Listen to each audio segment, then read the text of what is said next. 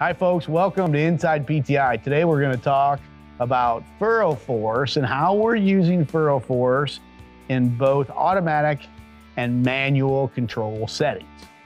So, for those of you that, are, that aren't familiar with FurrowForce, we've got a new dual stage, a two stage system that has sensors on it. And we can sense as we're traveling through planning and we can get that perfect closing situation for us on every square inch of the, of the field that we're planting. So here's a video of how FurrowForce works. Now the first two blades you'll see in front is the first stage. And what this first stage is designed to do is lift and fracture the sidewalls. Now the sidewalls are from the openers that came in and made that true V. We plant the seed in the bottom of the true V, but the openers come in and make the walls, if you will. And so this first stage is designed just to lift and fracture those sidewalls, blow them out, make it look like we were never ever there. Now, the little wheel you see in the back, that's our second stage. And what it's designed to do is to push the air pocket out. You see, this is a problem with closing systems that we've been using for the last 10, 20, 30 years. They're static settings, they're side by side, and they cannot lift and fracture and push the air pocket out at the same time. They can maybe do one, but they can't do both. So we created a closing system that says, you know what, the first stage, your only your only job is to lift and fracture the sidewall. That's it. Thank you for what you've done, but that's what you're, you're, you're designed to do. Then the second stage, only remove the air pocket, push that air pocket out. That's how we set the system up. You see that first stage lifting and fracturing and blowing those sidewalls out. You can kind of see it just kind of zippering it out.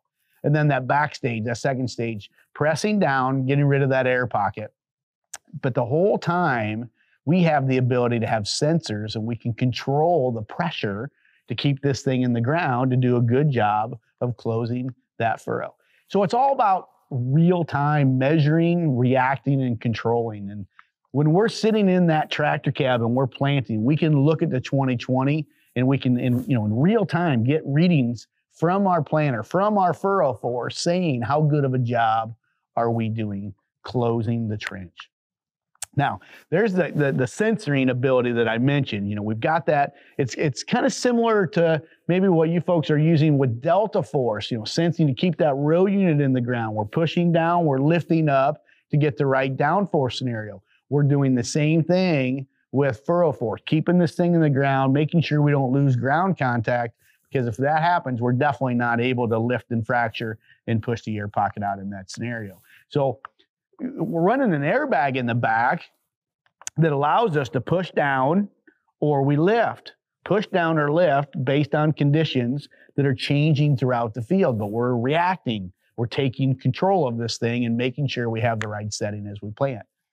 Now, you can buy FurrowForce and put it on your planter in one of two ways. You can go in the automated mode, like we've been talking about here, or you can go in a manual operation mode. And either way is fine. Manual is going to be a little bit cheaper, but the thing you're going to have to do with manual is you're going to have to change it to get the right setting. So you're going to have to know what's happening in the field to move this thing and get it in the in the correct position.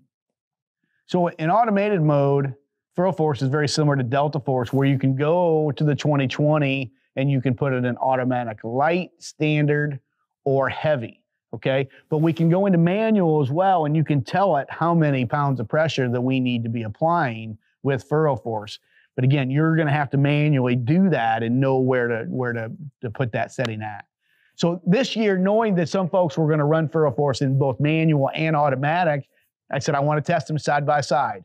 And so in the automated um, capacity, you know, I'm running light, standard, and heavy, but then I'm doing a manual pass in each of those same settings across the field. So for example, this first data set I'm looking at, it's FurrowForce automatic in the light setting of 15 pounds, and then I set it manual 15 pounds side by side. So I'm running automatic and then I'm running manual side by side. And manual got beat by 4.1 bushel in that scenario. Okay, but that's in an automatic light, 15 pounds compared to manual at 15 pounds. Let's go to standard. Manual got beat by 4.8 bushel, and this is 35 pounds, the setting on the 2020 monitor.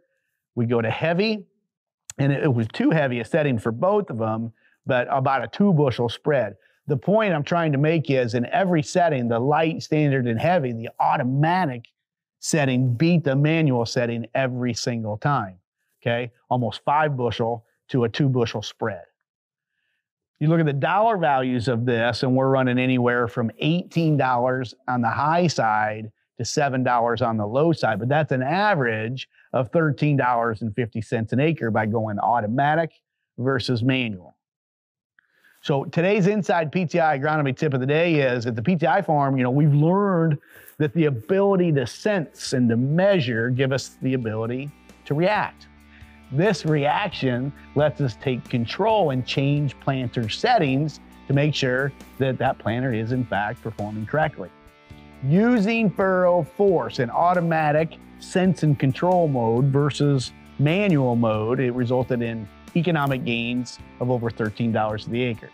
That adds up pretty quickly. So again, we, we know growers are gonna be running in both automatic and manual mode, and we wanna do these side-by-side -side tests to show the differences. Either way, this system will work well. It's just in a manual mode, you're gonna have to work a little harder to understand the system and know how to set it.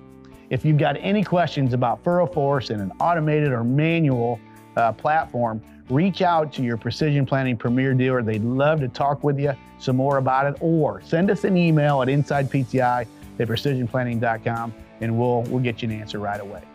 That's all the time we have for today. We will see you on the next episode of Inside PTI.